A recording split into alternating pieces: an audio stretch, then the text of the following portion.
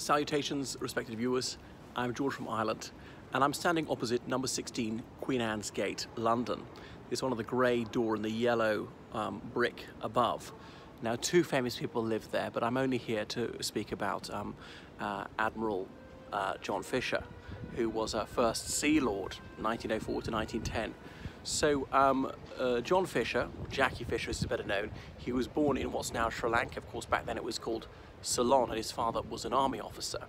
Um, so Fisher, he was, um, well, I suppose bang on average height for those days, would be considered a bit below average height now. He was very full-faced, so often appeared to be corpulent, even though he wasn't.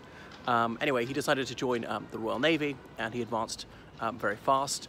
So the, the, the Royal Navy was more of a career open to talents, because the army by this time, by the time he joined, had not quite abolished uh, selling commissions. And uh, so he was from a very solidly upper middle class family, but not so wealthy that they could be buying commissions for him uh, or, or, anything like that. And those with the right social connections tended to be promoted, particularly in Guards Regiment. But um, for someone like him, who was mathematically minded, who was diligent, very hard working, this suited him. He seemed to be inscrutable a lot of the time, though when he became um, uh, very lively or passionate about a subject, he would start gesticulating quite wildly, sort of lose control. And the king once had to tell him to restrain himself.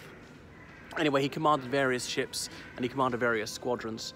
Um, he suffered from malaria one stage in the Far East, which gave him rather jaundiced um, uh, skin tone and uh, so on. People, people speculated he must have Asiatic ancestry, although in fact that's uh, not the case.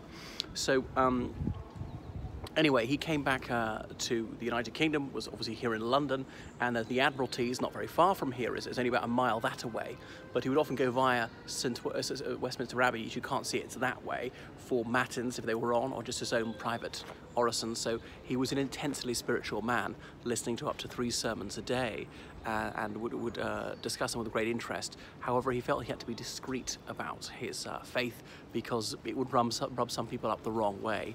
Um, he was not keen on sport at all, um, whereas the Royal Navy generally is. I mean, you should there's an Army-Navy rugby match, but also you should keep fit, but he, he kept fit with dancing. So a man of many contradictions. These evangelical Christians tend not to be quite so keen on terpsichoreanism as he was. Anyway, so he was ennobled, he became a Lord Fisher, he was able to choose his own motto. So he chose, chosen one in English, often they chose one in Latin or French. His one was fear God and dread naught. Fear in this case meaning believe in God. Other people say, other people, well, particularly atheists said, no, no, no, it really is fear in the literal sense. Why dread naught? Um, well, it was a pun because this type of uh, ship was was invented called a dreadnought, as in it didn't have to be scared of anything. Could outgun anything it couldn't outsail, and outsail anything it couldn't outgun. So the, the, the perfect combination of speed and strength, as in the range of the guns and how big their shells were. Um, so when he started off uh, in the Royal Navy, it was still the age of sail. It was before even the American Civil War. That's only then when ironclads came in. Up until there, there were wooden-hulled ships and obviously um, by the time he died in 1920 everything was um, uh, made of steel. Castles of steel as Churchill called them big guns torpedoes. He was an early advocate of the use of torpedoes things like that. So he was a man of very go-ahead uh, go-ahead ideas which obviously rob, rubbed up the top brass the wrong way. Some of them didn't like this young whippersnapper with all his newfangled notions because the senior service the Royal Navy is all about tradition. But you know they've got to move with the times especially when there's technical innovation. So uh, Anyway, the dreadnoughts were being built and it came to the Anglo-German naval race. Germany was flexing its muscles. As the Kaiser said, we must have our place in the sun. Remember um, the Congress of Berlin in 1885 when Africa had been carved up without the consent of a single African.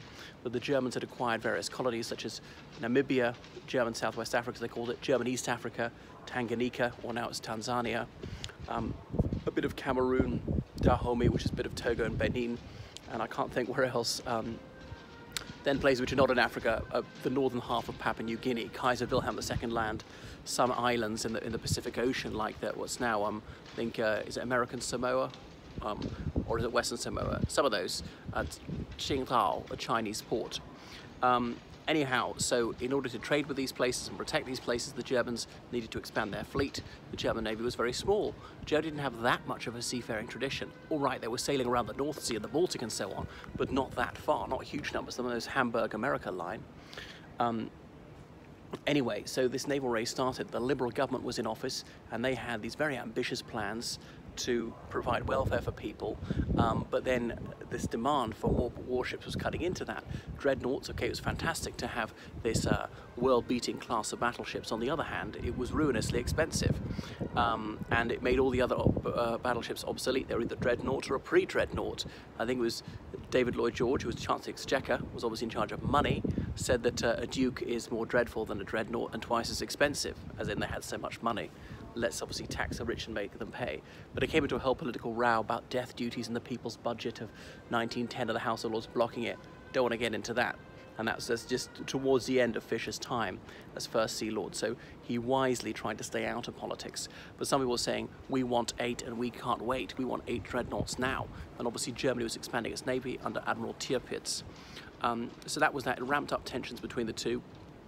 It also had a contracyclical effect when there were some economic downturns, particularly in areas of strong liberal support. Remember, the Liberal Party was one of the two great parties of state in that era, building them in Newcastle, in Edinburgh, in Glasgow, in Liverpool, these major urban centres which were quite important for the Liberal Party, and when the Labour Party was growing in strength and soon breathing down the neck of the Liberal Party.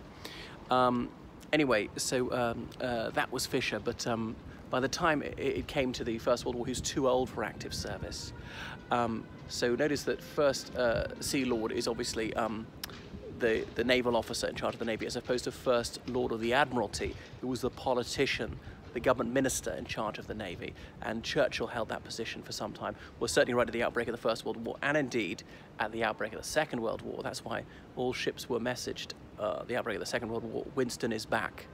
Just those three words, they knew who it was the only British politician to be known by his Christian name, just like Boris Johnson today. Boris is the only UK politician known mononymically. Um, so what else about Fisher? Yeah, he, he had all sorts of um, crazy ideas, saying that they should go for the Copenhagen option against Germany, or indeed the Japanese, is without declaration, declaration of war, simply attack and sink all their ships.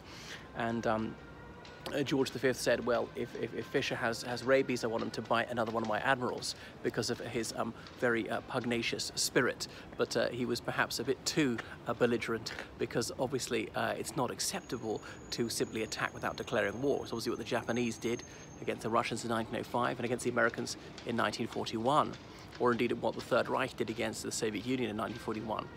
Um, this is recalling, um, I think Lord Nelson did it once, and it was done again after Nelson's death. The Royal Navy sailing off the coast of Copenhagen, Denmark, and did they even give the Danes an ultimatum? They might have given an ultimatum, but Denmark being a neutral country and sinking most of the Danish fleet bearing in mind in the early 19th century, Denmark was actually a significant maritime power, not on the scale of France or the United Kingdom, but, but larger than you might think for a fairly small country. Okay, it's not large, it's got lots of islands, but Denmark in those days included Norway and Iceland and Greenland, and they even had some territory in India and a tiny bit on the coast of Africa, and they had the US Virgin Islands, so very much a seafaring people. So um, that was sort of out, just, just uh, this uh, unprovoked attack when they're not expecting it. But obviously this would provoke war. Fisher's argument, well, it wouldn't matter because we would have sunk almost all their warships and they wouldn't be able to get us. We're off this island. So the United Kingdom, for centuries, had a policy of having um, a large navy. In the late 19th century, there was this um, um, act of parliament about it for double power standard. The Royal Navy had to be bigger than the next two put together, as it was used the French Navy and let's say the Russian Navy. So in case those two made alliance, as they did, if they ganged up in the United Kingdom, the Royal Navy must still be able to beat them, greater than their combined strength. Why not three power standard? Well, th there had to be some limit to how much could be spent. Obviously, you have to keep taxation down to electorally acceptable levels. Um, so that was um, uh, Jackie Fisher, who was had various other people under his tutelage, Beatty, Jellicoe, um, Cunningham, other admirals who rose to great fame in the First World War and uh, subsequently. Uh, so yeah, he died in 20, 1920. It may seem to be somewhat uh, mm, incongruous for such an ardent Christian to be someone, uh, someone who was advocating uh, these unprovoked attacks on, on fellow Christians. But there we are. He's also um, uh, William Smith, who lived in that house, that famous uh, Whig politician of the late 18th and early 20th century. But we shan't bother about him. So we're on Queen Anne Gate. It's so called because it was built in 1704. Queen Anne's reign it used to be called Park Street. I'm not sure when it was renamed Queen Anne's Gate. Um, there is a bit of a gate up there into, um, into St James's Park, but that's that. All right, I'll switch it off now.